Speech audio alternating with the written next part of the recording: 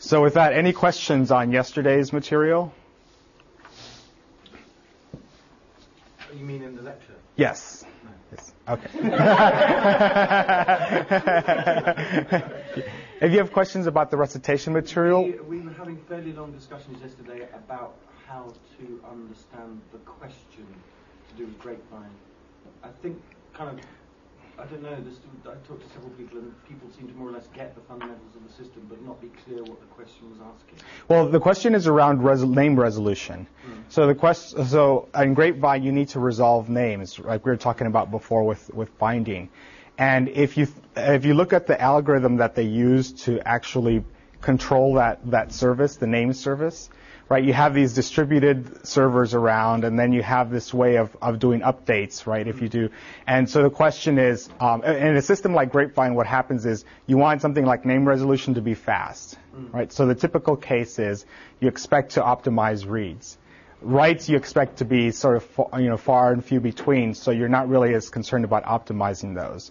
So the question is around um, is around wanting you to explain, you know, what's to understand the algorithm well enough to know what's the worst case if you try to get a, if you try to do a name resolution um, in terms of how many steps it's going to take. What Right. wasn't clear to, to me was what you, the previous, the first comment in the question about the difference between reads and updates had to do with this because So th- this was it was a thing about reading and update, like it- it's a clue in essence. That if you if you're doing, you mean the thing, the comment that I just made? Well, in the question, you, you, you mentioned the difference in, in speed between um, the, Mhm. the typical read and Right. an update. Um, and as far as the name, as the as far as the resource location algorithm goes, you don't have to mention updating at all. Why not? Because you can you can update. I mean, what happens if you're trying to resolve a name and someone's updated somewhere else?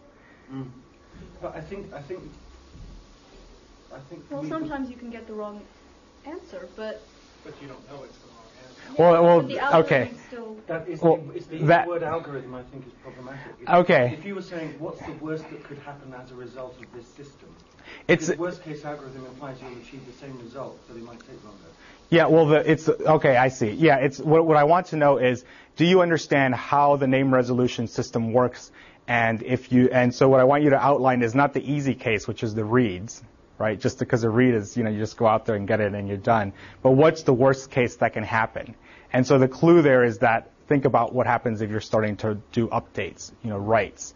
And so I want you to work through what happens if in the face of that and be able to explain how what would happen if you started doing because you can and I'm allowing you to be arbitrary in the sense that you can choose what the worst case you what you think the worst case is, but it'll have something to do with updates. okay, I understood worst case to be Worst read case. the worst read case, and so I completely misinterpreted your question. Well, it is the worst. It is the word no, read no, no, I case. mean the worst, because um, regardless of the issue of updates, there are sort of three different steps that you might have to go through to do a particular read, and I thought that your question was aimed at that. Okay. Well, the, when you do a read, if you, there are updates going on, that can al- that can No, but that doesn't affect what those, um, how uh, any particular server looking for, you know, the information to do with a particular name will actually go through the steps. Of okay. trying to Maybe maybe it's just maybe it's just the semantics were unclear. Like maybe, well, but no, what you've just said means that I completely didn't understand what you were asking. okay. Do you understand now? Um, yes, I think so. But, Okay. Um, I've already written the paper and I'm not writing it. As long as you argue it well. okay. Anybody else? Other questions? Okay. Usual startup question, what's a network? Well, in our case, um, let's go back to our fundamentals. It's a system that contains at least two components that can communicate. So at the very simplest case, very simplest case is just two components that communicate. Um, in an arbitrary case, it can be represented as a graph. Uh, the communication is done through point-to-point links in the network. And one of the properties that you'll see in almost any network is that there's some notion of links that are shared. In this case, this middle link is shared when between these two guys out here and, and the third one whenever they want to communicate to the other side of this network. Now, why would you want to share? Do you, what's, what's a good reason to share links? Otherwise, every node has to be connected to every node. Otherwise, every node has to be connected to every node. And what's the problem with that? Why not connect every node to every node? What's that? It's going to get impossibly complicated by the time you get. Okay, it's going to be very com- well. It's going to be complicated. Well, uh, maybe. I mean, if it's if you could connect. I mean, if all of these were connected to each other, right? Then wouldn't it be easy to send messages around the system, right? You just you're con- you're connected to everything else. You can just The complication is the connections, not, not the complication in sending messages. I mean, You mean the you physical? Yeah. Okay. There's physical. So there's, but but that what that really translates into is cost, right? Actually getting these things out. I mean, stringing out all of these w- cables, right, is is pretty. The algorithm is pretty easy, right? You just you want us to go from point A to every other point. The hard part is it's going to cost you a fortune. It's just un, it's just untenable. It doesn't scale. Um, so instead, what we do, what's that? So instead, of what we do is we share links. And in the case of the internet, you have these big trunks that run across the country or between uh, geographical areas. Now, what's what tr- what's the trade-off when you start sharing links? reliability. Well, you have reliability, so there's more points. There, there's you know there's failure points, right? You can have redundancy to try to to counteract that. But more generally, what's the trade-off? Well, the, those are specific ones. I mean, just like think of the, the high, at the highest level, I have less links. What about how does it? What, what does that introduce? What notion? This is a, this is a weird one because it's. I listed several. Well, I'll just give you the answer. Complexity. Now, the weird the weird reason thing about this is that complexity. Remember before we were saying that the more interconnections there were, usually the more complex it was, right? In this case, in networks, it's counterintuitive because the less you have, the more complex it is. And the reason it's more complex is because you want to build things in like reliability at, at some point. You want to be able to um, have some kind of redundancy, and you have to ha- be able to route messages throughout this this interconnect now. And whereas before it was very easy to route, you just send if, if you were fully interconnected, you just send it from point A to point B, and you're done. Um, so there's an in, there's there's complexity that comes in. A bit counterintuitive, but like we said, you know, there's always exceptions to the rules. Well, it's not the network itself that's more complex, right? It's the delivery mechanisms or it's the software that's more Right. complex. And I'm sure there's a way you could draw a picture of those so that they have more connections as a Yeah. Well, it's used right. It's using the network. So the co- because you're bringing the cost down, then using the network becomes and actually implementing the, you know, the protocols, et cetera, becomes more complicated. That's the trade-off, and that's a lot. There's a lot of complexity in, involved in that, which is why networking is a field, subfield all in its own. So let's look at a couple different types of networks. Um, one of them is the that you may uh, be familiar with is called an asynchronous network. Has anyone heard of this before? Asynchronous network? Let me give you an example of one of these. You have a link, and along each link, what you have are messages that are fixed length, um, certain certain number of bits, however you want to measure the length. Um, one way to measure it is actually to say that these these are uh, these messages uh, are go out on this line at regular intervals. So you know, let's say one millisecond. And the idea here is that when you communicate over this link, the reason it's called asynchronous is that when you communicate over this link, you have to establish a connection.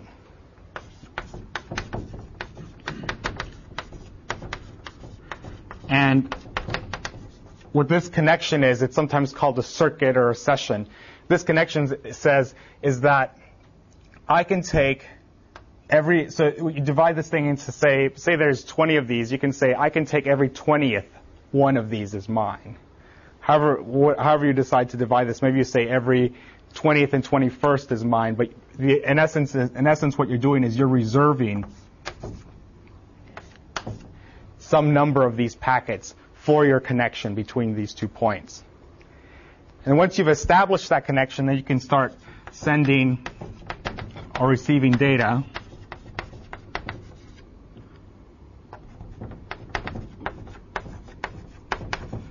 And then when you're done, you tear down the connection.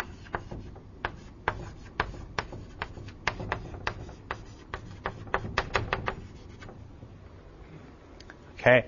Um, now, one of the things that you'll notice is these two steps here will will uh, will not only take some will, cost you some overhead, but also what can happen at this point here? Is this always guaranteed to work? Okay, no. Why not?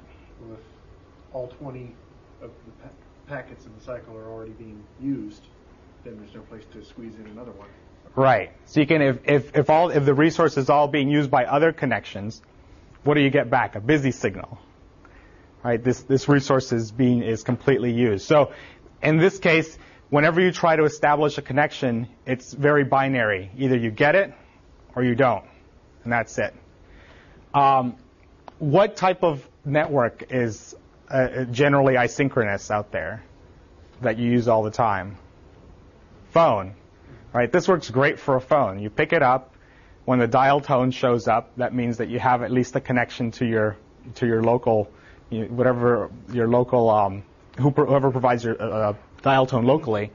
When you type in a number, right, that system, whether it be your corporate, you know, PBX or you know some AT&T hub somewhere, or, or Baby Bell hub, um, will go out and try to to get to to reserve to build connections between uh, its network and wherever else it's going. If you're di- especially if you're dialing international, can be an issue. But once that's set up, the idea is that you you have that connection. It's yours. You can start sending your voice data over that. Yes. I don't get how the concept of every 20th packet is yours. Like, what are the other 19 packets, and how is that fluid? So in the phone system, for example, these packets, this is set up so that the number of packets that you get correspond to, I think it's something like four four kilohertz. It's some it's some amount of bandwidth that you get on the line. And so what that means is that it's enough for you to communicate voice back and forth. And the way they divide this resource, which are these links, is that way. They say this link has a capacity to carry, you know, 20, let's say, to, just to pick a number, 20 uh, voice uh, conversations at once. So what we're going to do is divide this into 20 slots. And then that way, whenever somebody new comes, we give them that 120th of that resource. And then when it fills up, then you get a busy signal on that particular connection. Oh, so that's more a concept of division of space as opposed to division of time, sending it out one second, then one second. Well, this actually, there's a technique called time division multiplexing. And that's a perfectly fine way to do this. I mean, a lot of times your, your conversations are actually disjoint. I mean, this is how, this is one of the reasons cell phones, I mean, they use this time division multiplexing, the digital ones. This is one reason that they can use less power because they're not, unlike the analog ones, they're not always on. They're just spurting out little packets like boom, boom, boom, boom, boom. And so they don't have to, because they don't have to be on all the time, then they don't have to, you know, power up their antenna all the time. So uh, time division multiplexing does have its uses, um, and it's a common common technique, especially in these kinds of, of networks. Yes. Is there a synchronization pulse to say what it means that the 20th packet is mine? Um, there can be there can be a synchronization pulse. Um, there's different ways to, to, to implement these things. Depends on what the length of the of the cable is. Um, depends on whether you can have uh, you know any, whether you're local or global. The more global you are, the more you need some kind of synchronization pulses. If you're local, you you may not. Um, but that is that's a perfectly valid implementation for certain situations, is to have some kind of some kind of pulse that tells that gives. Or even even just to say, what do you mean by the 20th packet is mine? 20th in regards to who? What's the zero packet? Oh, the um, so the the the uh, starting and ending points. When you establish a connection, you reserve that packet as belonging with an ID or something as belonging to to you to your particular phone. So, for example, if you have a phone out here and you're and you and you're dialing into this hub, when you come in here, this hub, you know, these, these days are, tend to be written in software. Will say, okay, I have a table here, and say it's 20, and then it goes through and says, okay, the first five are taken up. Now I'm going to be, you know, take up number six belongs to, you know, some somebody here, and that uh, is associated with this phone, and then it can communicate that information over here, and that, you know, they can propagate out. But that both sides have to know that this this slot is being reserved. That's part of what establishing the connection is about. So one thing that, that brings up an important point, which is notice that this is that this connection requires you to maintain state. Okay, there's a state associated with this connection, which is here. So this is important because in the next one we'll see an example, and the internet is an example of a state, uh, a, a, system where you, uh, network where you don't need state. So just on the, on the phone thing, this concept of packets would only apply to digital networks, would it? Um, you can have analog working that way, um, and I mean, there's these this, these messages here on this link could be digital, could be analog, and in fact, at the lowest level, they're, they're probably pulses, analog pulses. Um, I mean, unless unless it's a fiber network where you're thinking about light and you consider that you know a pulse, but then again, it's analog, and at the end, it's, it's that's analog too. So it just it depends on what layer you're looking at it.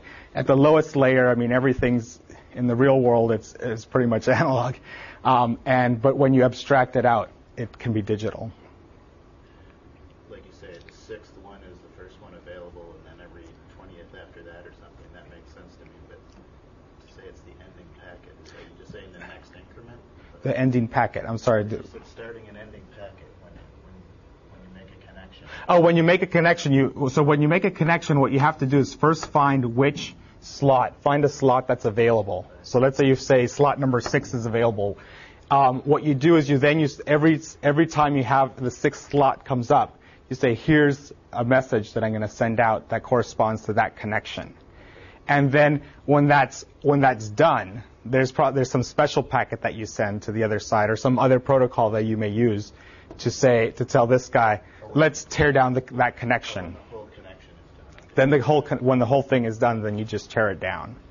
Um, but you have to, so this has to maintain that state. When this one communicates to the next one, they have to maintain a state as to what, you know, what slot that's going to take up and so on all the way through. So there's a lot of state that you, that you're carrying in terms of what, what, how much, uh, how many resources that, or what, what type of resources that uh, connection is holding. Um, now, one interesting thing here is once you establish the connection, do you really need a source and destination address? Some way of addressing this this packet? Both ends know where, where when in the stream to reach in and grab. Yeah, and what about what about all the way through? You know, what about all the way whoops through to its to its destination? Do I have to say does each does each message I say have to have to say, well, I'm here in Cambridge and I'm calling, you know, Botswana? Does this ha- does each packet have to have Botswana? Presumably, the, serv- the servers along the way know know what to do with it instead. That's right. Each of them will have when you set up when you establish the connection. Each one of these is going to have a table like this. And so the when you the packet comes in here and says, "Oh, this is the one on number six. Over here might be the one on number ten. Over here might be the one on number fifty. Over here might be the one on number two. Um, but all the way through, all that, that information about source and destination, it's, it's known by virtue of the fact that these tables are being stored at each point along the network. It seems like a system like this can really tolerate no noise because it seems all dependent on all the tables being synchronized so that if, if the, you know, the ending packet got disrupted and, and the tables didn't get updated and all the other nodes, then you can make a different connection. Yeah, and there are ways you might be able to address that. Uh, for example, you may say that if that every packet has to have a certain, even if there's no, no message, that that packet has to have something in it that's that's detected along the way. And if you don't receive, if after a certain number of packets you don't receive anything, you might just drop the connection.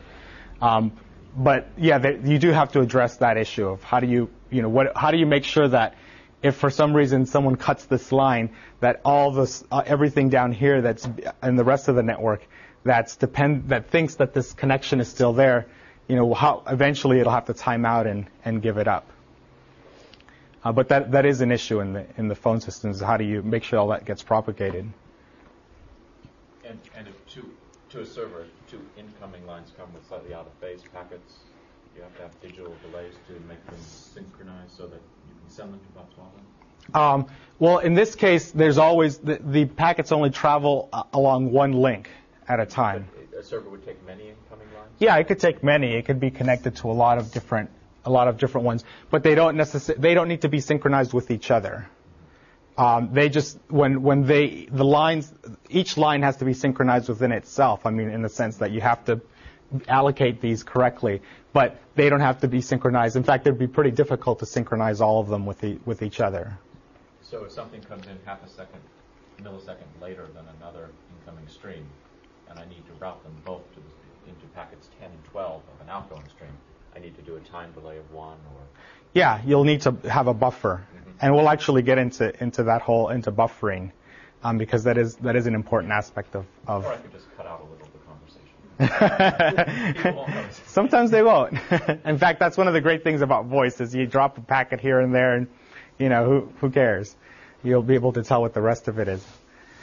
Um, so, just summing up, here you get predictable predictable bandwidth, and you actually get a pretty good degree of reliability in the sense that once you establish the connection, you can assume that whenever you put some message into the first part of, you know, the beginning of it, it'll actually pop out at the other side with high degree of probability. Now let's look at a different type of network, which is an asynchronous network. It's probably the one that um, you've seen most often. Asynchronous? I don't know. Who's an English major? It, might be a misspeaking of ISO, meaning the same, ISO. Okay. rather than ISO city. See the No Chomsky. and The Chomsky graduate comes to my rescue. I, I didn't speak Greek, but A does, and so by analogy, we shorten ISO. Go Chomsky. All right, thank you. Um, now, one thing. So let's look at an asynchronous network. Should have left this one up. Asynchronous network is different than an isynchronous network. In an asynchronous network, first of all, there's no explicit connections. So there's nothing about establishing and tearing down a connection. You just basically send. And at some point, you hope that something receives. Okay. Um, one other difference is that in asynchronous, you have the, the packets, the messages you send can be variable length.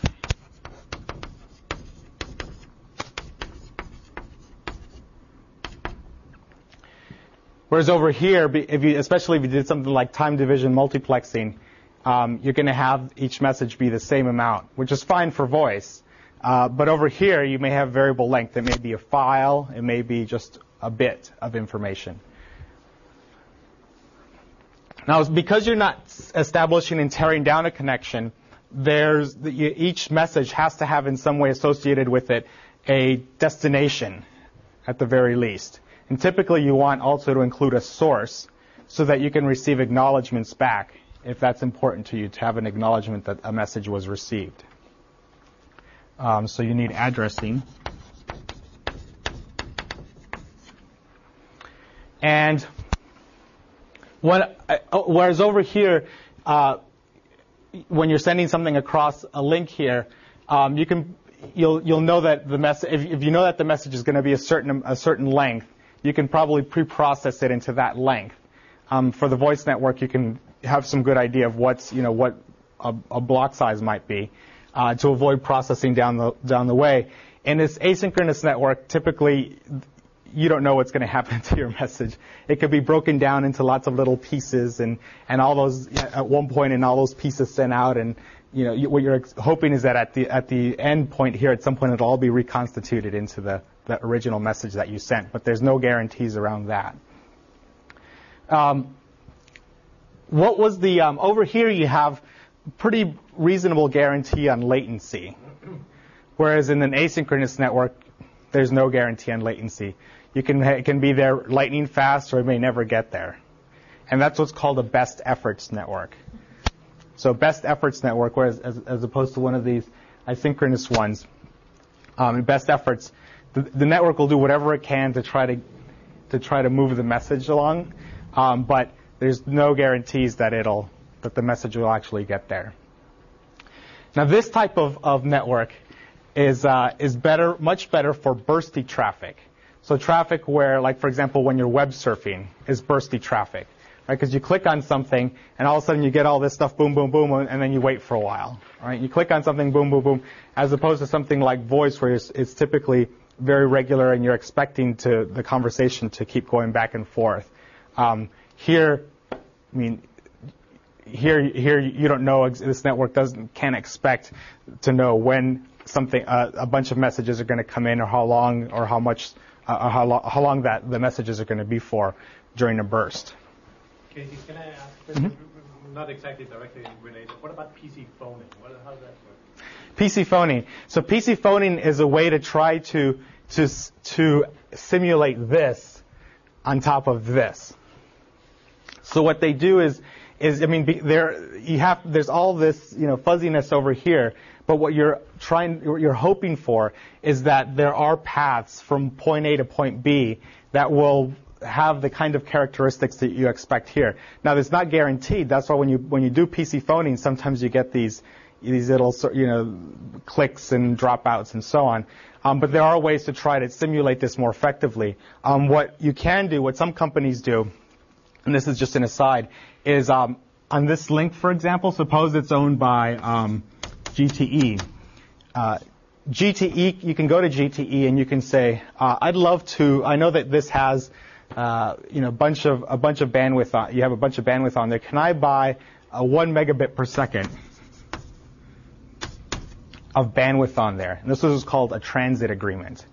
And what you do is, is you say any type my packets come into your, to your point here, your, your um, routing point.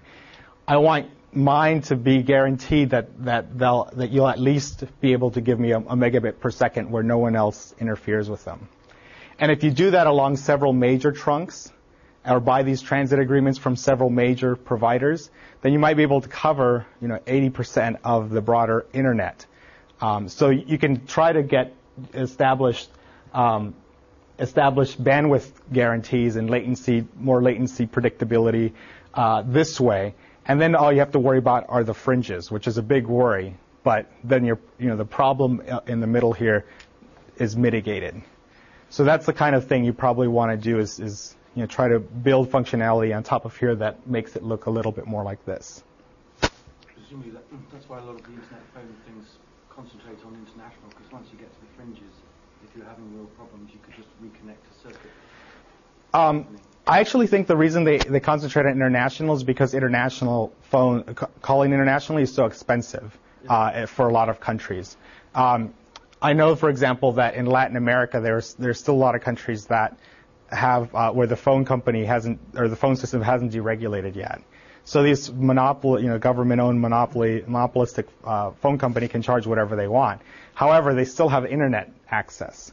So this, you know, PC phone thing, if you're if you're paying a buck a minute to call Venezuela, and this PC phone thing costs you nothing, or you know, or or 3.95 a month. There's they're starting to charge for some of these these days. Then that's that's what you're going to choose. Um, so that I think I think that's actually the reason they they love the international more than the U.S. where you can get you know free 20 minutes or three or four cents a minute. Okay. Other questions so far? We're going to start digging a little bit deeper into this here. Okay, so one of the types of asynchronous networks is called the store and forward. Okay, this is the internet is a store and forward network. And the way to think of it is you have a bunch of, you have an, uh, an interconnect. And I'll draw that that's probably geographically dispersed. Doesn't have to be. What's that?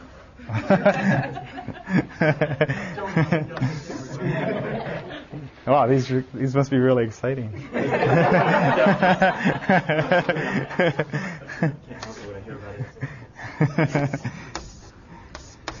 um, so what you have here what you have here are uh, these squares represent what are called packet switches or packet switchers. And these other uh, these circles are, are, computers that are connected at network access points. And the way this store and forward network works is computer injects a message into one of these into the network. Uh, it goes to the nearest packet. You inject it usually directly into a packet switch or some kind of routing uh, hardware, and then that is responsible for getting it to the switch that one A switch that can reach the receiver and to deliver it to the receiver. So it's called store and forward because you inject it in, this guy gets it, forwards it on, you know, forwards it on, forwards it on, forwards it on, forwards it on, and then it gets received. Okay, does that, does everyone get that concept so far? Okay. Um, now, reside, does it reside at any of these spots until it's received, or once they forward it, are they done with it? once once they forward it, they're they're done with it. So, So- why is it store? I, I see the forward, but I don't. Well, we'll, we'll get to. Well, you- you're getting right, right to the next point. So one of the things. So let me step back. These links here, they don't all have. They're not all the same. Okay, some of them might be high bandwidth links. Some of them might be low bandwidth links. Independently, some might be high latency or low latency. Some at this at a certain moment in time may have a lot of traffic, while others do not. So getting from one point of this network to the other point, this is where the variableness comes in. You don't know what, how long it's going to take to get out there. There can be what are called queuing delays. Okay, and a queuing delay is how long a packet is held at any one point here before it's forwarded on uh, to the next uh, location.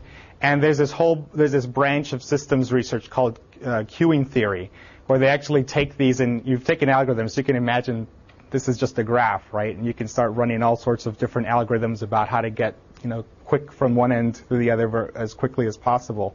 Um, so this is the, th those are the kinds of things that these queuing theorists do. And there's a, a, nice theory, and you'll see a little bit of that in the uh, Ethernet paper you're going to read that shows that as you increase the load on this system, the queuing delays grow up, uh, go up without bound. So if you think of this as the load on the system, so how many packets are being injected in? The utiliz- or the utilization is another way to think about it. Um, and you think about this as the queuing delay in seconds. You'll see a behavior like this. Now this is why in this network you're not guaranteed any, you're not, you don't have any kind of latency guarantees. Now look at that opposed to over here. This is an all or nothing network, right? You throw something, you try to get it, establish a connection, and either you get it or you don't.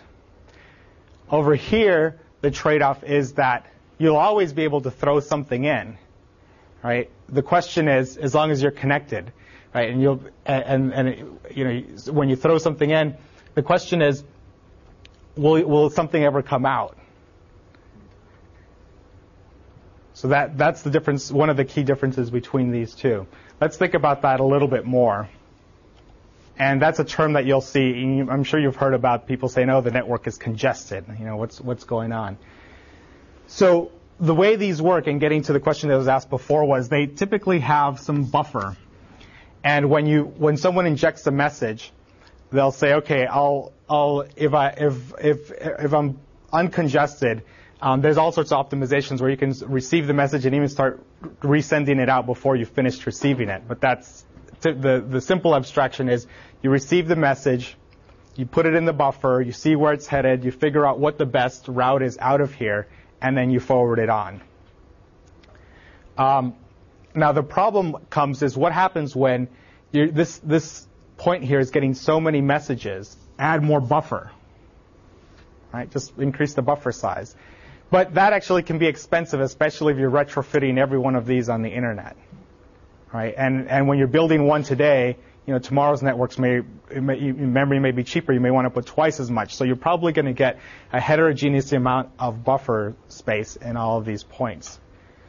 So what's another thing you can do? Well, another thing you can do is start adding more more of these,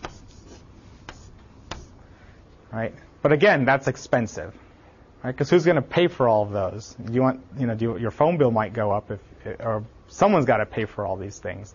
Um, so what's the what's the least expensive thing that you can do when when you get a buffer overflow?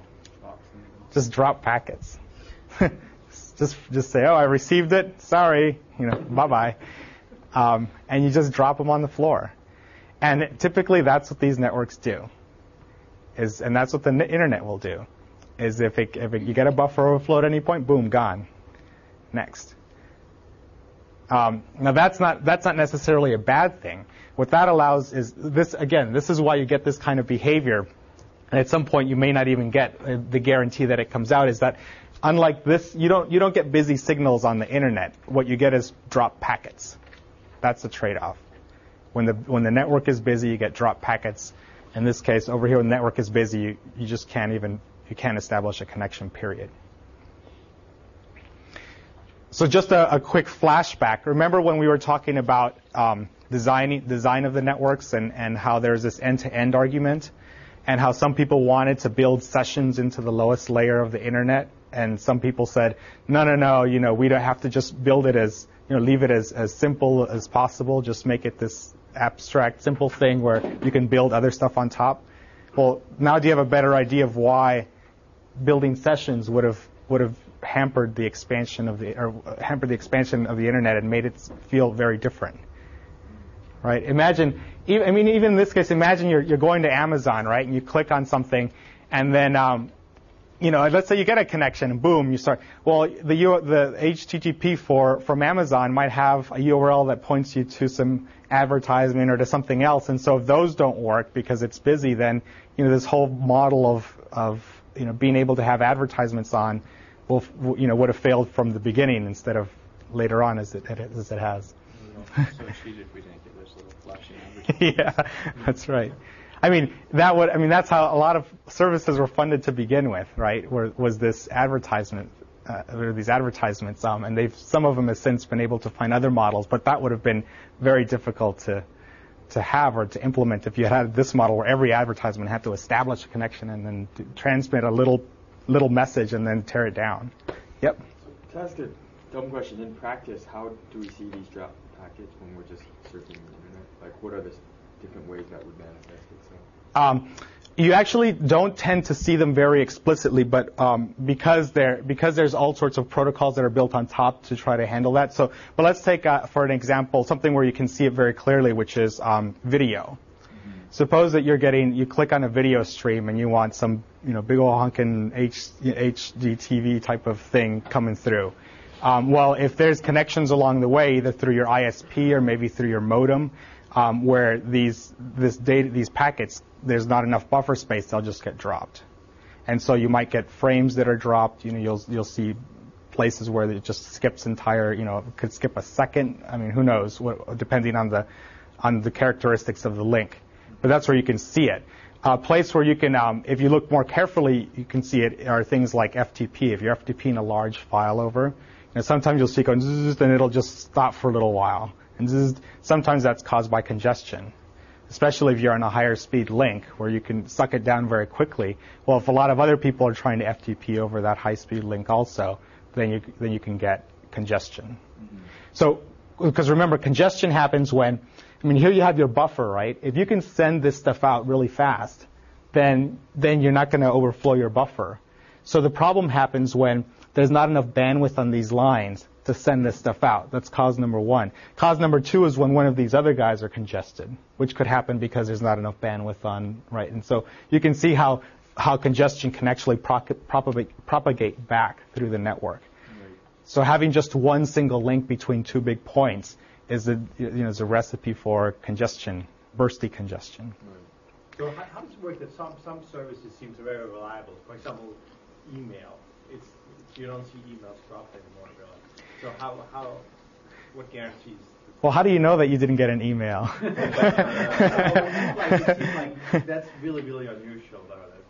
You know, I've never, ne- I've never seen something that said you didn't receive this email. I mean, it's, uh, I don't know if it's unusual. And, and I, there was actually a study, oh, I'm trying to remember. There was a study that was done on email that was looking at how, you know, the reliability of email. And it wasn't as, it wasn't, it wasn't 100%. It wasn't, I mean, it, it depended on the time of day, the, what you put in the email. I mean, if it's a simple text message, it has a lot greater probability of getting through. But if you have this big hunking attachment on it, you know, but that said, um, you're right that there's been a lot of emphasis on trying to make email a lot very, extremely reliable, and uh, and that's we'll get to we'll get to where you where there's a, you, you think about that at a different layer in the network than this one usually. And there's a protocol like there's the SMTP protocol. There's different protocols that do a lot of acknowledgments back and forth to try to make sure that everything gets through and resend packets if, if they uh, if they fail to get through. But that's that's something that you build on top of something like this. And we're we're going to get. I mean, you guys are all getting into the to the next conversation, which is about layers. Um, and to introduce it, there's this big point down here, which is that let's remember this end-to-end design principle. So we saw here how it could have affected us if we had tried to build in you know, reliability at this level of, of, connections. It would have hosed us later on. Um, things like having a rely, things like building in any kind of reliability, like using acknowledgments or something at this lowest layer, could also impact us. Video is one of the, of the reasons why. If you're sending video through and a few packets are dropped, are you gonna are you gonna care about that? In, you know, to, you know if, if 100 milliseconds later, probably not. So there you don't care. If things get dropped, they get dropped, and you're done. However, if you had built in reliability into this network, imagine all the extra traffic that would be built up just sending these useless packets around. So at this level, you don't want to build that in because otherwise applications that actually don't care if packets get dropped are going to have to pay the penalty uh, for, for that functionality at this level. That said, let's talk about the concept of network layering. So the problem here is to reduce the complexity of dealing with a network. And the approach is layering. So layering was one of these um, approaches that we talked about uh, the first day, I believe. Right? There was hierarchy, there was um, abstraction, modularity, and there was layering over some other network layer, which in this case we've just done one, which is the lowest one. And we still have the same old network underneath, uh, but the new layer is going to present a different, a different paradigm or a different protocol, different way of interacting in that network. And a protocol is just a contract uh, by which every user on, on, a network must abide. So some examples of these are TCP/IP, um, which is really, in a sense, two two protocols at different layers. Um, there's AppleTalk. There's the wireless uh, uh, 802.11b.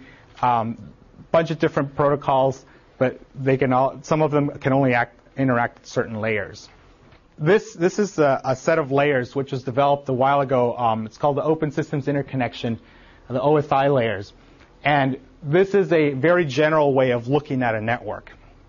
Uh, it's seven layers. At the very bottom, you have the physical layer, which is these, are just where the circuits are, the circuits in the hardware, the raw, you know, the actual physical connection. And some and this can be light, it can be uh, it can be EM uh, on like microwaves and, and uh, over the over wire over the air. Examples of this are like the Ethernet. You'll be reading some of this, the Ethernet baseband signaling, which we'll be reading about, ISDN. On top of that, you build what's called the data link. And the data link is responsible for actually transmitting in that medium. So there's the physical link, which in essence is the medium, and then you have the data link, which is here's how I think of the network as a way of transmitting packets back and forth uh, between nodes that are directly connected. So this is between two nodes that are directly connected. The physical layer is the medium, and then the network layer says, I mean, the data layer says, I, here's how I send, com, here's how I communicate bits or signals or messages back and forth on that. Now, that's just two things connected. The next layer up is the network layer. So that says, that's generalizing more to what we have here, which is you say you have a bunch of links, and each of each, if you just look at any two connected by one, there's a physical and a and a uh, data layer there, and on top of that is a network, which looks at it as if I inject a message into this network, it'll end up getting to the hopefully getting to the other side. So at the network layer, you're thinking about things like routing and, uh, and in this case, source and destination addresses over, over a, a, a, larger network, not just between two points. The next four layers um, get into uh, more of the, on the application side. Um, there's a transport layer, which is, uh, this is where you start, instead of thinking of the, of the communications as packets, as you know, a set of, of bits, that pack that's sent. You start thinking of things more as messages. Like I want to send a message which is a an email header, or I want to send a message which is uh, a an FT, uh, some some kind of file. You start you start abstracting away the notion of that there you have to worry about packets. When you're programming at that level, you think more about I'm sending this message and I don't care how long it is. I'm just going to throw it in, and, and the other layers will handle trans, transport of that. Uh, at this, the next layer up is called is the session layer, and that's where you worry about um, reliability and uh, of, of, sending this. So, for example, if you want to make sure that this message gets from here to here, you, at the session layer is where you do things like acknowledgments back and forth, or try or, or whatever whatever you want to do to make sure that you know something gets over there as best it can, because there are no 100% guarantees in this type of network as for, for a message getting from point A to point B. Um, the presentation layer, that's where you, um, um, so that, that's where you, once you've got, once you know, once you have something like session, ty- session type information, that's where you start building higher level protocols like SSL. So the so secure sockets layer on the internet is a way that you um, can set up a, a, connection that is secure between you and a bank or between you and a merchant. And then finally, you get to the application layer, which are things which are where you see all the high-level protocols like HTTP, FTP, SMTP. At that level, you're you're assuming that there's all this infrastructure below you. Like HTTP says, oh, okay, HTTPS. It's just using this secure this, S, this secure sockets layer, and I'll just be able to to assume that there's some abstraction there, and then there's stuff all the way down that implements it at some la- at some at the lowest layer in terms of sending bits from one uh, location to the other. Uh, the reason I bring this up is uh, th- this is it's very common. You'll, this model is very common. You'll see it in, in, in almost any networking text. Uh, when people talk about networking and when they talk about protocols, or they'll they'll tend to say, well, this is a transport layer protocol or this is a network layer protocol. They'll give the layer and say this is where it is. And if you have these in your mind and you have some idea of what they are, then you'll be able to understand what that, you know, what that protocol, why that protocol is there and how it fits into the overall context of things.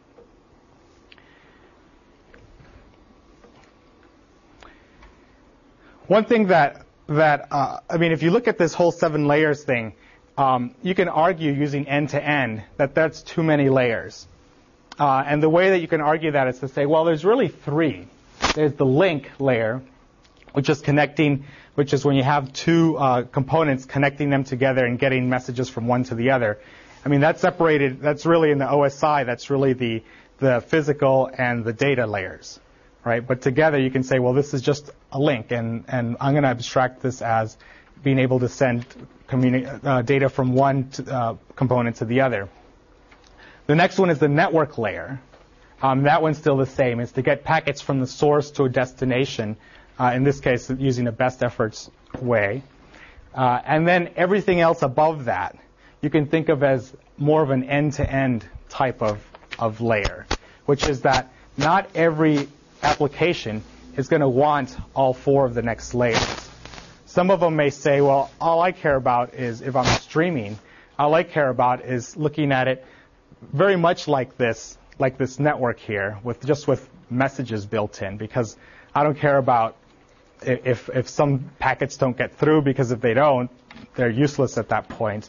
I don't care about a lot of different things, so I'm just going to look at it. I'm just going to get instead of thinking about four different layers, I'm just going to look at it as you know, here I am at, this at, at, this layer that's right above the network layer. Something else like HTTPS that uh, might actually want to think about some more layers. The reason you do this is so that if you by thinking about it this way, it allows you to overcome the problem, the performance issues that if every imagine if every computer forced you to interact that through the network at the applications layer and forced you to go through all the other layers every time you sent something on the network. Then you'd have to pay the price for going through all that, even if you didn't need all those layers. So in the link layer, what's, how, do you, how do people actually implement these? Um, well, very generally, uh, if you think about signals going through here, you know, there'll be pulses. Right? Just like you saw in the, the machine architecture stuff already. So, you know, like ones and zeros you'll have pulses. Now, what, what happens when these, this line gets long? What happens to these pulses? What's that? Yeah, they start attenuating, right? Because there's this, this, this is a, an actual physical. So they start looking less and less like this and more like something, something like that. And eventually they'll just, you won't even be able to detect them at the end. Um, so one thing that, that this implies, this is a physical characteristic of the link layer, is that the length of the link, in, it's like for example in an Ethernet paper, you'll, this is a big big uh, issue. The length of the link is uh, is bounded. So you, you, guys have heard. Of, how many of you guys have, have put together a, a, home network like with cables and? Okay. What can you tell me something about these cables? How they're rated? How they're rated? Yeah. Like have you heard of Category three, Category five? Okay. Okay. If you um if you actually if you look at if you go to the store to buy cables these days in category five is pretty cheap but there are different types of cables and they have to do with uh, what their performance characteristics are. So some of them like cat 5 cable you can actually put a longer amount of that in between two points whereas something like cat 3 has won't necessarily support the same bandwidth or length that cat 5 and so on. So when you buy these cables I mean, don't be fooled if one looks cheaper than the other and they all both have the same connectors, right? There's there's there's a real physical implication. How does the how does the one how does the other side actually read this stuff? Um, well, it does it by using something called a phase locked loop. And I don't know how many of you guys have done any kind of uh, intro to electrical engineering course, but a phase lock loop is, is a very common type of circuit that's used in TVs, it's used in FM radios, it's, it's, and what it does is it, is it's able to take a stream that looks something like this and lock itself to it so that it can, so that it can isolate, in essence, each of these different pulses. So it locks itself onto the frequency of the signal and to the phase of the signal that's coming in and using a phased lock loop, then on the other side, you can start, you can take these signals and try to modulate them to try to make, to, to figure out whether it's a zero or a one. Now the phase lock loop depends on there being transitions because it locks itself on transitions in the, in the incoming uh, signal. So what you have to make sure is that these, however you encode your signal on this link, that you make it so that there's always transitions going on. Because if the minute you stop, like let's say if you just encoded zero as a, a, set voltage on this line, then there's nothing for this phase lock loop to lock on, and eventually it'll lose, it'll lose its synchronization with the stream that's coming in. So one, so from a from a design point of view, one way to get around that, which is a very simple way, uh, is to say, well, I'm going to encode zero as zero one and one as one zero. So anytime I put a zero on this on this link, I'm gonna it's gonna look like this. And uh, anytime I put a one on it, it's gonna look like this. So now we have we have these edges that the phase lock loop is going to be able to lock onto to make sure that it that it's that it it knows the difference between different bits in this stream. Um, now, what's one trade-off of doing this encoding?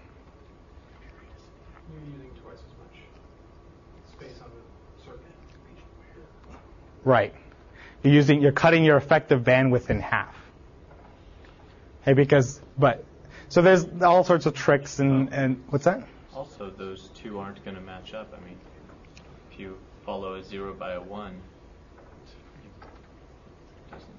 well, you have zero one, which will be which will be interpreted as a zero. Then you'll have a one zero, which will be interpreted as a one. You have to be reading from the beginning of the stream in order to keep them know the difference between a zero and a one. Yep. You can't just. Yep. Yep. Yep. So there's border ca- there's fence there's the, the border cases, and I mean if some of these sometimes you can put uh, I mean some some of the ways like in FM when you're thinking about FM radio you have a carrier wave that you can sync on. Um, but there's, I mean, this is a very simple way to, to, to get around this problem. There are other ways, and there's probably papers you can pick up off the internet that show you, you know, someone's newest, cleverest ways, clever way to do this. Um, one other thing, if you want to think about these links, um, there's this. The, if you think about, remember this, you've heard about modems and how people were saying. I think it was either 28.8 or 33.6 was the highest they could ever go theoretically, and then they're able to go above that. And there's all these tricks that people actually play with how you encode signals on on the link. So just just very quickly, there's um, there's there's really two components. One is how many of these pulses, so to speak, you can put on like how fast you can put a pulse on. Second is um, how uh, how many how much information you can store in each pulse. So, for example, suppose that you can store suppose that you have a, a line where you can only put 300 per second of these, 300 baud, 300 you know, pulses per second. Imagine that each pulse though could encode four bits then in essence you get four, you get 1200 baud, three times or 1200 BPS over this 300 baud line. So there's a lot of you know there's a lot of interesting tricks you can play to do that. Now remember, as as the line gets longer, it's harder to differentiate at which you, you know which how you uh, which voltage level you encoded each thing. So imagine if um, zero zero volts is meant meant zero, um, two volts meant let's see, 0001, 1011. And I'm just picking random numbers here for the voltages. Um, so each, if each pulse, imagine if the pulse was zero, that, that would correspond to two bits of zero. If the pulse was at two volts, it would correspond to this, and so on. The problem that you have in that case is as, as the line gets longer, then, then this gets attenuated and it becomes harder to resolve between these. So there's this, there's a distance issue. But in any case, th- this is the kind of fun stuff. If you really are into this kind of, there's there's people at MIT uh, that that know a heck of a lot about this type of different types of, of codes that you can use to encode lots of information in in a data stream. Okay. Um, one other thing that you have to do so we were talking about, you brought up the issue of, of uh, the beginning and the end of these, of packets, uh, or of the whole stream, right? There's also the issue of the beginning and the end of a packet. If the packets are variable length, right, how do you know where one starts and the other one begins? Because right, you're just getting this stream of things. Where's the, where's, what do you use as a marker? Header. Pardon? Do they have headers? They have headers, but how do you know where, where the header is? You know, how, the header says how long its packet is, then at the end of. But how do you know how long the header is? Standard. I, I don't know. Yeah, I, am just saying. I'm, no, these are that you, you, you're doing you're doing well so far. you're doing well. yeah, you're doing you're doing well. You're doing well. So you're solving one. You're reducing the problem into another one. That's really good. So. Yeah, at the lowest layer, that, at the lowest layer, so at the when you get finally when to the to the very end of that argument, you say, well, how do I, re- I at some point I need to differentiate the start and end of something, and the way one way that you do that is um, you pick a string of, of bits to say here this is going to mark the the start of the end. So let's say you pick six ones, and you say whenever you see six ones, that marks the start of a packet. So then your header is going to come after that, and then that can tell you something about the pack, you know, every, every, every the payload and so on. Now, what's the problem if we just left it at this? Yeah, there's yeah, there's a good chance that six ones will show up somewhere in the data stream at some point. So one of the techniques that's used in this case to get around that problem is called bit stuffing. And what you do is anytime you see a set of six ones at the sender side, so when the sender is processing this, anytime it sees six ones that are part of the data, what it does is it inserts a zero after that. And at, on the receiving side, anytime it sees a set of six ones, if the next bit is a zero, it's going to assume that it was bit stuffed, so it X's it out. And if the seventh one is a one, then it's going to say, okay, this was the this this the mark this is the mark of the beginning of my packet. So it's essentially like using escape characters. Yeah, so the beginning of your data packet can't start with a zero. The beginning of your data no, it can because now anything that's over here is your data packet if it's if it's a one. So, but if but if the first if the first bit of your packet body is a zero, then then this will be a zero right here. Then that one so you be have there. to stuff a one. You'd have six ones. Yeah, you would stuff a you would stuff a one in there also. If it, I mean, basically, if you see if yeah, if you see six ones on the sender side that are part of the packet before you send it, you put a zero in there, and the header for the header you put a you put a one in there.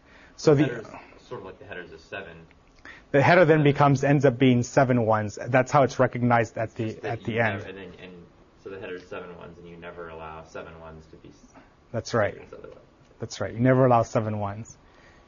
So nowhere in the packet can you have seven ones Because they break it up. They break it up because remember when you see six ones, you always put a zero in. You always stuff a zero. So that's when the packet ends. Oh, the packet will pro- you can def- you can define in here how long the packet's going to be. That could be one of the one of the uh, parameters.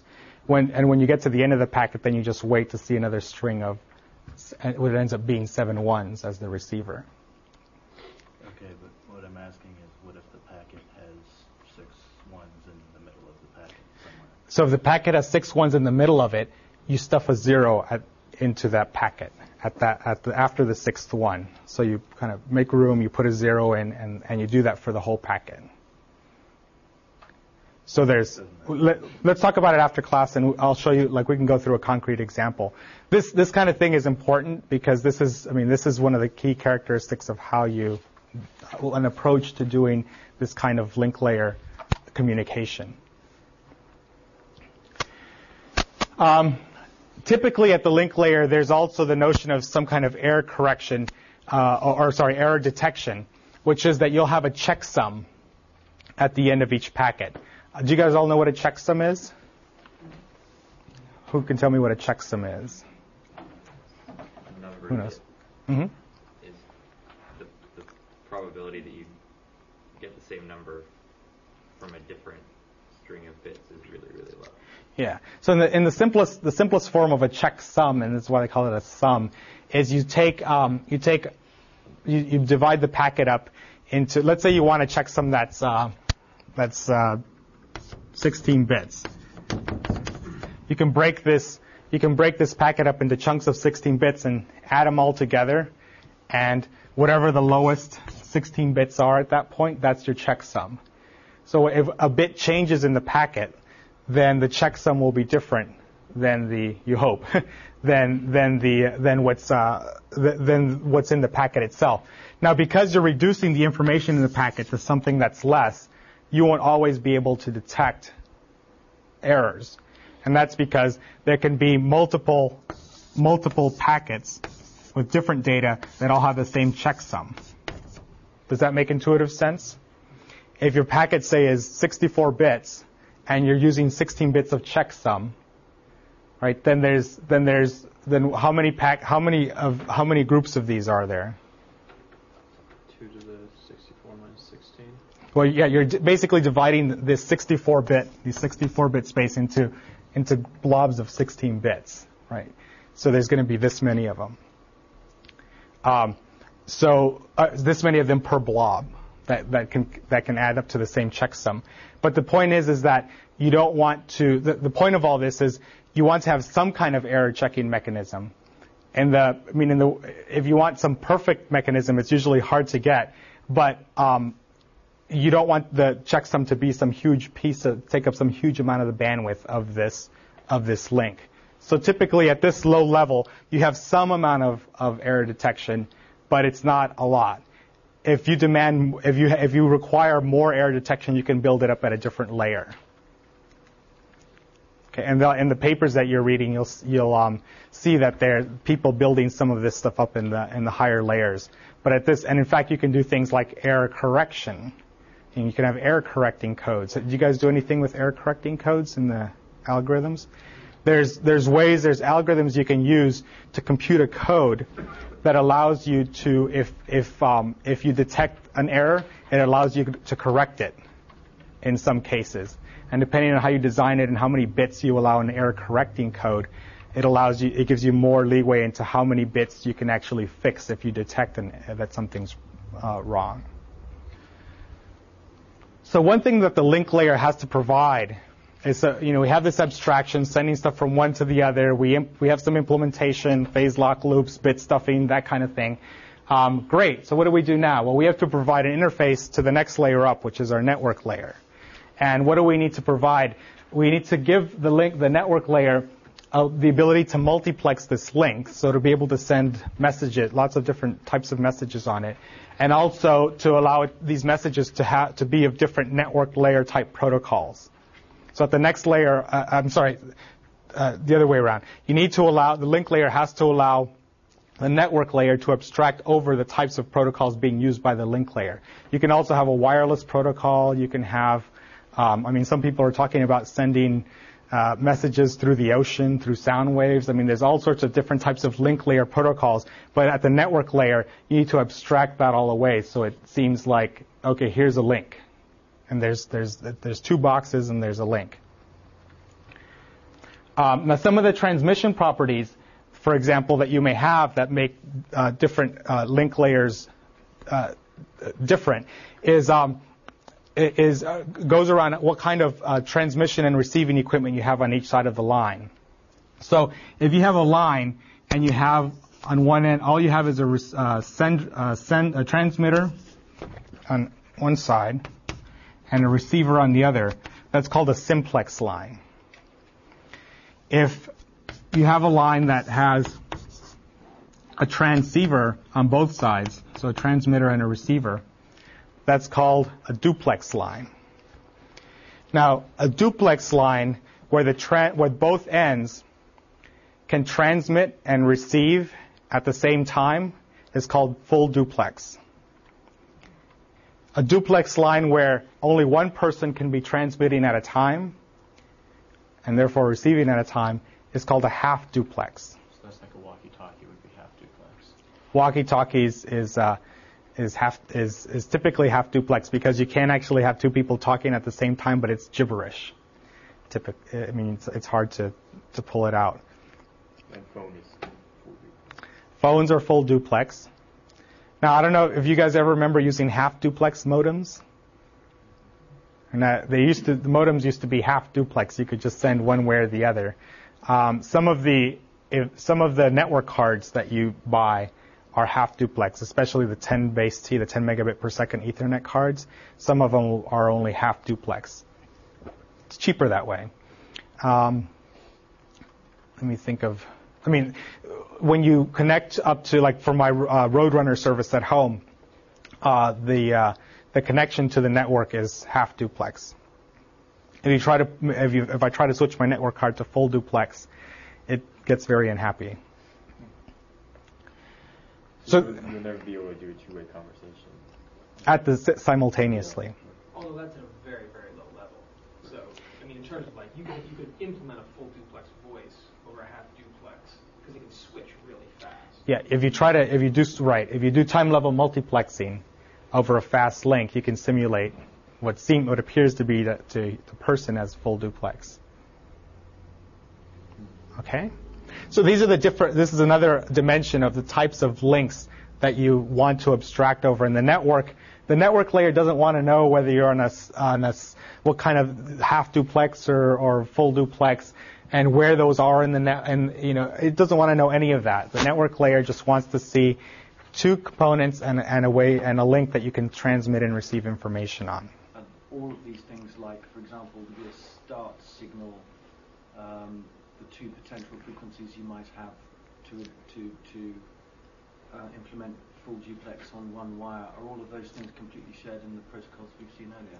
Well, there those are at the, the at the physical layer. There's shared, there's a proto, there are protocols or standards right. that you have to abide by. So if you're going to build, for example, a, a 100 base T, a 10 100 base T Ethernet card, there's a document that you can pick up that says, you know, what frequencies you can transmit on, when you can and can't, when and the backoff algorithm you have to use, how you address. You there's all sorts of that information and you can build one of these because it's open. Uh, but that's when you connect these two together, you, that's one you have to use you know one protocol. When you connect these two together, you might be using something different. Uh, and it could be the same machine having two different types of, of cards. So an example of that is is your machine that gets the that gets say a, a signal in from Roadrunner and has a wireless card also that it uses to serve lo- a local area two very different protocols, but to the network, it doesn't know that one's necessarily that one's wireless and one's the other one. It just says they're both places that I can send and receive to. So this store and forward that we talked about earlier, that's all something that's implemented at the network layer. Okay, so the network layer has there's there's a protocol around being able to receive and being able to figure out where to send to next and, and knowing when you get to the end to, to, you know, to shoot it out to the right place. That's all something at the network layer that, that where you implement at the network layer. it, it's made more simple by the fact that you, the network layer software sees the uh, the link layer soft link layer is just a bunch of is basically this a graph. And so one thing that you have to do, one important thing that you have to do at the network layer is to decide how to route these packets. So when one gets injected here, you have to decide do I send it here, here, or here. It's not. A, I mean, in this case, if all the links links were of equal type and had equal uh, congestion, the answer might be, oh, send it here, then here, then here. But if this link was heavily congested, and and maybe this is a modem link, and this these are all T1 lines, then this might be the way to send it. It might be faster that way. So the routing is something that's that's difficult, that's non-trivial, uh, but it's something that you have to worry about at the network layer. Um, and once a layer, once a uh, once a network layer delivers the packet to the to the destination, then that that message then has to be pushed up and given to some to something to a, your program or whatever it is that's running at the next uh, layer in the in the layer infrastructure. So the way to think of all this is that the lowest is, is that when the messages come through,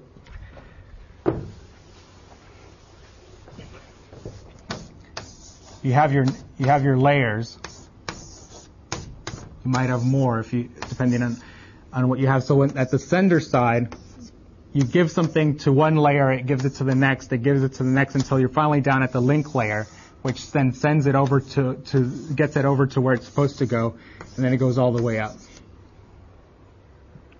And it may have, uh, I mean, there may be several links along the way and so on, but this is the way when you're thinking about how these, how, how you design the interfaces to the, these different layers.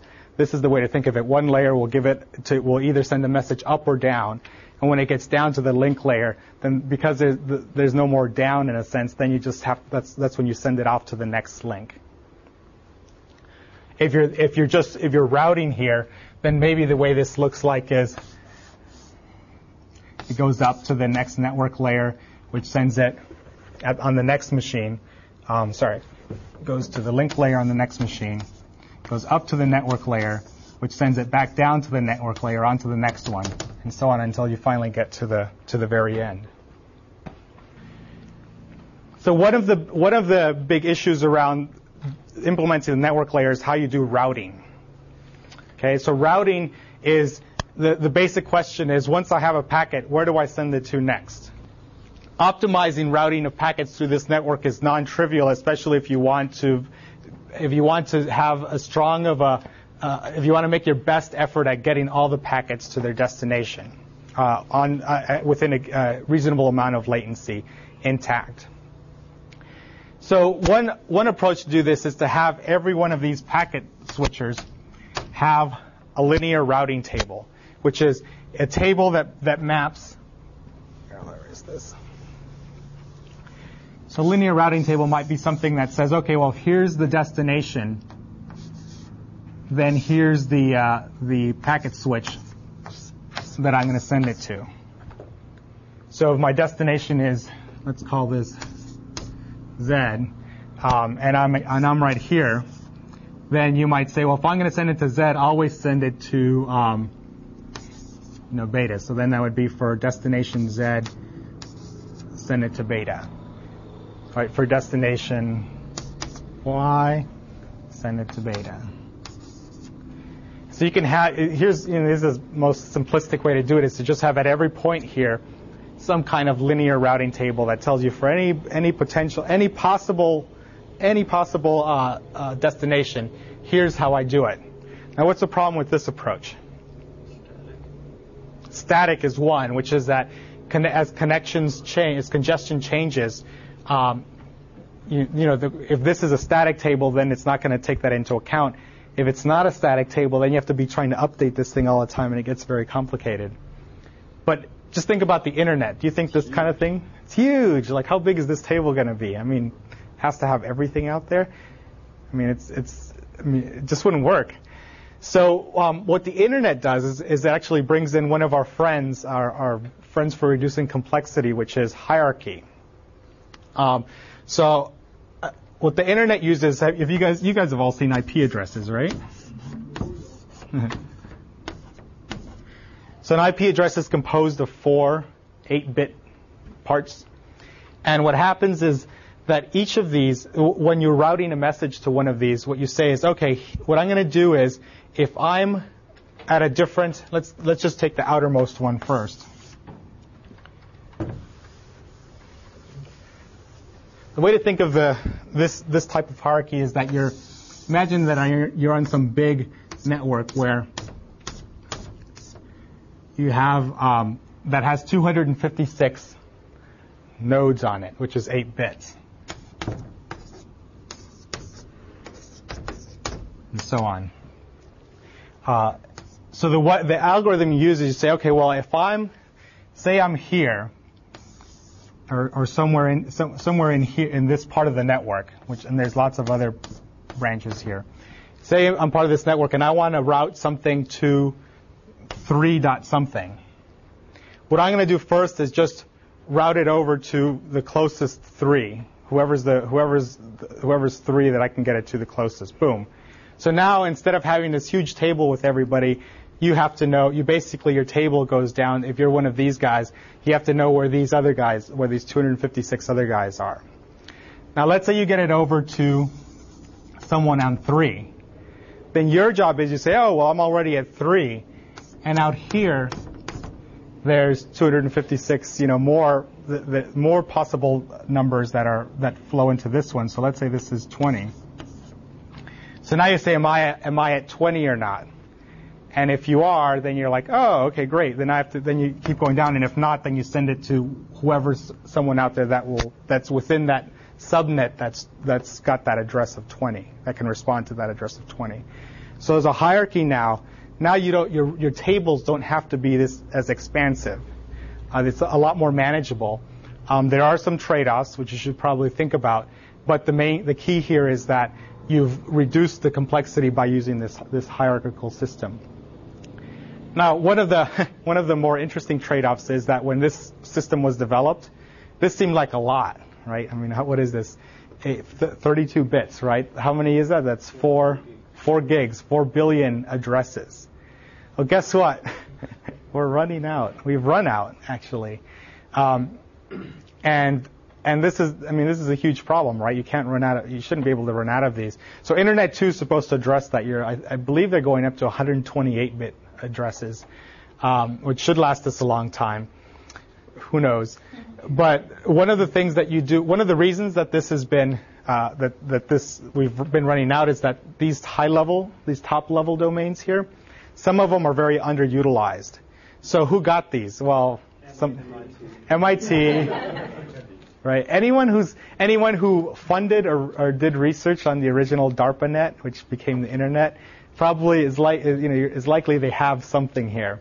They may have sold it at some point, or if they went out of business, you know, it might have been divided up. But there are not a lot of these that you know, I mean that that uh, around. There's only 256.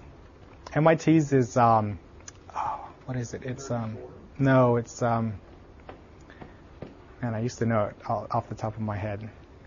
You can look it up. You so can do an NS lookup. No one else will have. Well, MIT controls it. Okay. MIT will control it, uh, and MIT can decide, you know, who gets who, what, what to do with the rest of this space out here. So, you know, MIT could could sell some of these off, right? They could sell there's you know dot one off to somebody else, uh, and the problem though comes in is you know you you're trying to set up a little local area network here what addresses do you give these machines? And uh, so there's this thing called network address translation, or NAT, that's used. Um, there's uh, there's also this. The, I can point you to some NAT papers. This this kind of stuff is, is cool if you like this this kind of addressing thing.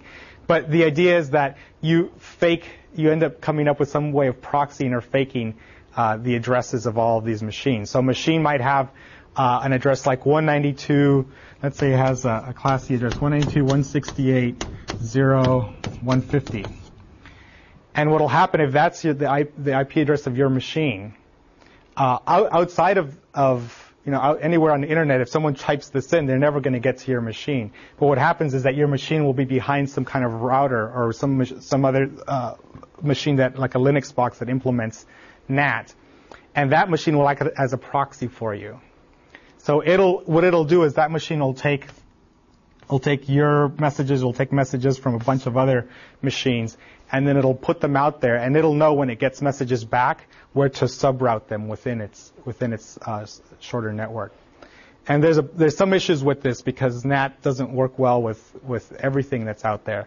Uh, but this is the kind of kludge that people have had to come up with in order to deal with the fact that these four giga address, addresses are now. I mean, it's it's you can't just go out there and just grab whatever you want. It's very well structured out now. Um, the uh, approach that you laid out for finding Mhm. the way eventually to Mhm. the destination seems like it would work really well for the low end bits, but the upper end bits, you've got no guarantee that finding three, for example, is going to get you any closer geographically. You're going to do a lot of roundabout ways. Is that geographical uh, implications are, are huge right now, especially with mobile computing. Uh, so imagine that you're, I mean, imagine you have a laptop and you're going, in, in the best case, say you're connected everywhere. And if you have something, I mean, if these were geographically co-located, then that, that would give, that would improve the chances uh, that, you know, getting it to one of these machines would get it close, closer to you. But if you have a machine, suppose you have a laptop, do you give it and I mean that's a big question is what a, what kind of how do you address that laptop? Do you want to I'm, I'm thinking as much where you are in relation to the uh, backbone uh, backbones of the internet. I mean, theoretically, finding three could send you all the way down the other end of the backbone. Yeah. And then you would have Yeah. to work your way back up it. So there's so there's a lot of um, I mean these these tables. Uh, there's a people are I mean these tables shouldn't be static for that reason. Uh, if you're upgrading links or if links go down or if you I mean ideally you should have these tables change over time as links go up or down. Um, and in fact you could probably see that by doing trace routes. If you do a trace route today, it might be different than a trace route tomorrow. And that has to do with all the way down the line, even at the top level domains, there's constantly optimizations that have to be done because links can go up and down and links can get congested and there's maintenance and you, you can't guarantee that a link's you know always going to be up. Now there are some links that are a lot more critical than others. Right? There's these main trunks that go across the U.S. and there's trunks that go across to, to Europe, and those are pretty critical. Um, and but you know if, if one of those goes down, then doesn't you know you're hosed anyway, right? You might want to go all the try to go around some other way. But it's again, there's a lot of. I mean, I, I don't know the specifics of how the inter, of how these routing tables are up, uh, updated on the internet. There's probably some good papers out there that will explain that.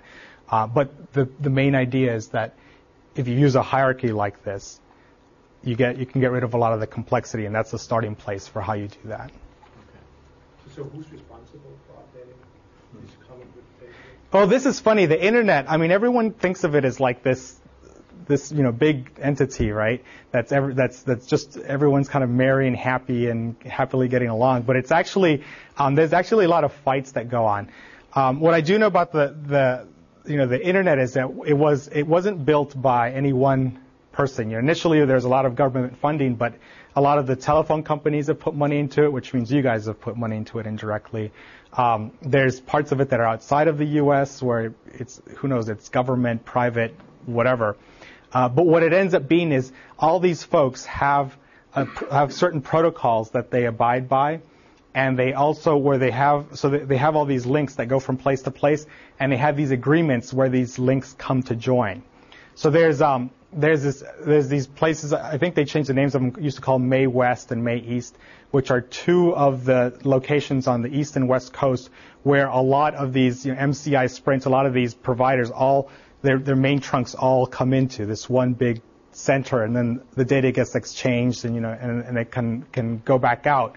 Um, now at those places, there's uh, all this controversy because imagine right now the right now the agreement is that if I join one of these, then whatever traffic I put on that I put on to, and you know I give to somebody else, they're going to take for free, and whatever traffic they give me, I'm going to distribute it in my, you know th- using my network for free.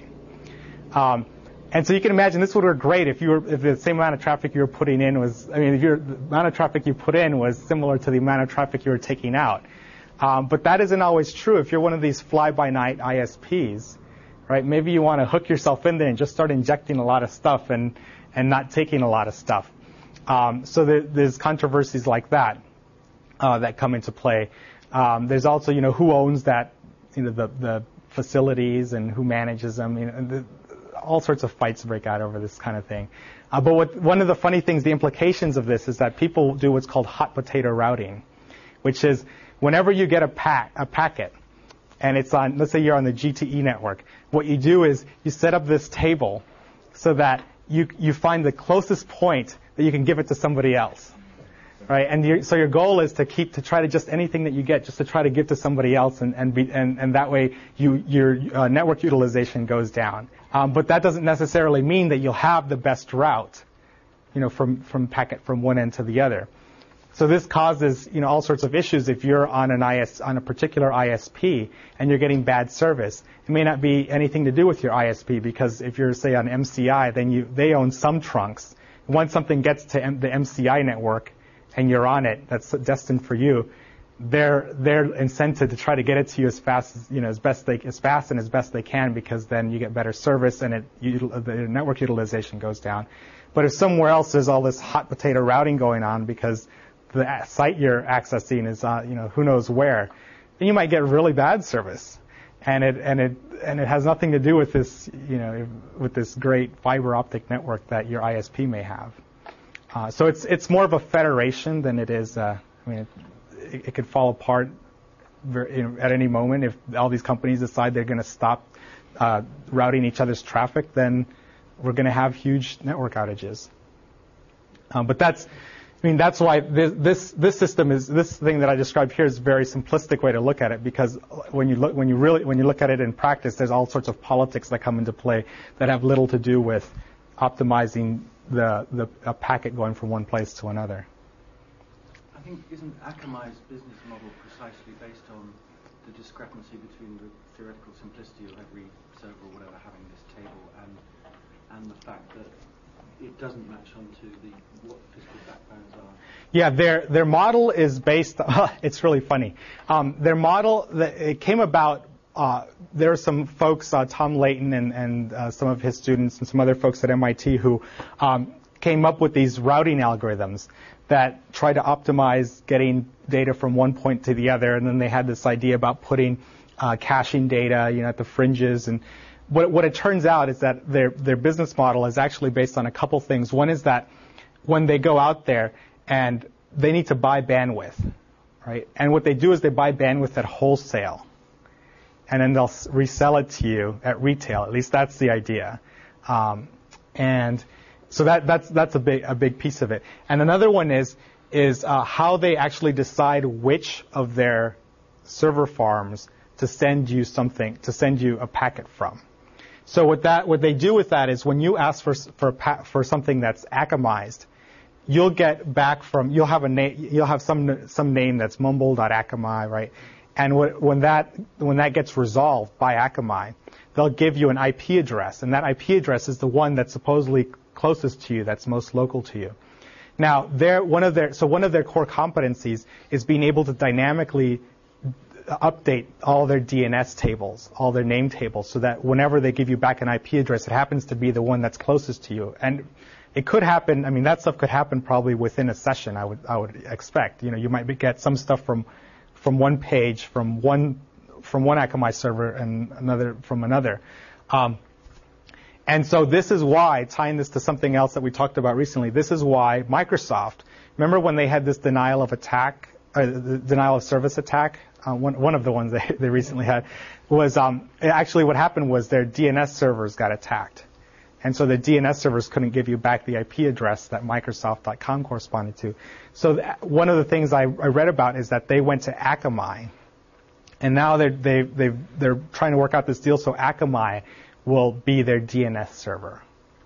So it's not necessarily doing the data piece of it uh, for, the, for this purpose. It's doing, I mean, maybe that's in there, but the main reason they went to them was because Akamai has these DNS, I mean, it has this DNS infrastructure all over the place.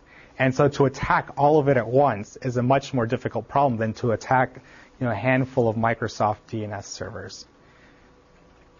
That makes sense? Okay. Um, that's it for today.